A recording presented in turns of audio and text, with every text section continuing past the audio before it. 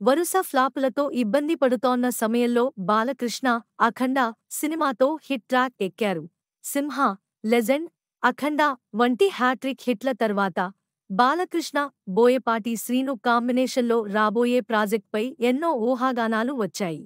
ముఖ్యంగా ఈ సినిమాలో ఎవరు నటిస్తారు అనేది హాట్ టాపిక్ అవుతోంది. నందమూరి మోక్షజ్ఞ కూడా ఈ సినిమాలో ఉంటాడని రూమర్స్ వచ్చాయి. ఇప్పుడే మరో సెన్సేషన్. బాలయ్యకు ఢీకొట్టే విలంగా మ్యాచో స్టార్ గోపీచంద్ ఈ చిత్రంలో నటించనున్నట్లు వార్తలు వినిపిస్తున్నాయి. బోయపాటి అతడికి స్టోరీ వినిపించగానే వెంటనే ఓకే చెప్పేశాడట. మరి ఈ కాంబో ఎంత హీట్ అవుతుందో చూడాలి. సినీ పరిశ్రమలో నెపోటిజం అనే మాటను చాలాసార్లు వింటుంటాం. స్టార్ హీరోలు హీరోయిన్ల వారసులు సినిమాల్లోకి రావడం చూసే రోజులు తగ్గడం లేదు.